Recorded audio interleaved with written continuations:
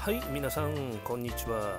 えー、っと10月の4日日曜日、えー、2本目曇天の京都駅前からご報告しておりますよ、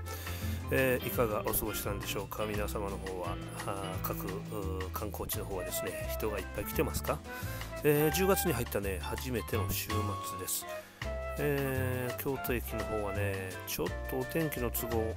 あんまり関係ないですかね、ちょっとね、人であんまり出てませんね、正直ね。えー、やはりあの4連休の時にね、わっと人が来たんですけど、えー、それから2週間経ちました、え週末2回目です、10月に入って最初のもう行楽シーズンとも言っていいね、え京都なんですけども、駅の方はそんなにたくさん人がいらっしゃる感じはありませんね。えこれ昼過ぎに撮ってますよ。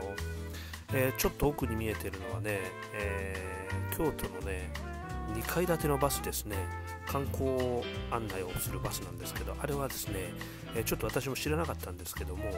え京都の定期観光をする2階建てのアッパーデッキのあるね、えバスみたいですね、え今日ちょっとじっくり見て気づきました。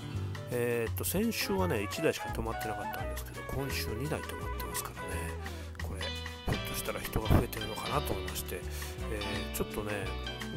うんどんなあバスなのかなというのよく知らなかったです。ここが発着場になってるみたいですね、えー、私地元なんですけど乗ったことがありませんので、えー、残念ながら知らなかったんですけどここが定期観光バスの、え、チケット売り場になってますので、えここから発着するのでいつもあそこにバスが止まってたんですね、え私はちょっと存じ上げなくて、え前回、え以前のね、え映像ではちょっと間違った情報を発信してたかもしれません。許してください、え今回は訂正してお詫び申し上げます、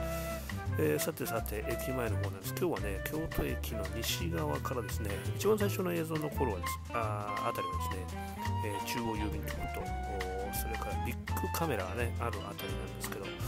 えーと、あんまり駅だけを利用する人はあまりあっちの方に行かないんですけどこちらの方からですね、えー、京都駅の正面入り口の方バスターミナルの方に近寄って映像を流しております。えー、っとね今日は家族連れの人が先ほどのね定期観光バスのところもそうだったんですけどもえー、っとちょっとやはり家族連れの観光者っていうんですかね、えー、そういう姿がちらほらと見受けられましたんで、えー、一応今日も GoTo キャンペーンね、え、東京都民の人にはもう出てますからね。ひょっとしたらやってきてる人がいるかもしれませんね。えーと、私の知り合いもね近々あ地方なんですけどね、え、九州とか。それか東京の方なんですけどね、えー、京都ちょっと行ってみようかななんて言ってましたんでね、えー、ぜひね利用して、え安全確保の上で、え十分に、え体調管理をね整えてやってきてもらえれば結構かと思いますね。あまりじっとしてばっかりもいられませんからね、え十分に十分に気をつけて、えそれで出歩くとウィズコロナはそういう感じになるんじゃないですかね。ただね本当に私は期待してるんですよ。早く飛行機飛ばないかなと。それにはまだまだ時間がかかりそうですね、えー、そういえばトランプさんもね,、えー、ねコロナにかかったみたいですからね。これからちょっとどういう動きになるのかちょっと心配なんですけどね、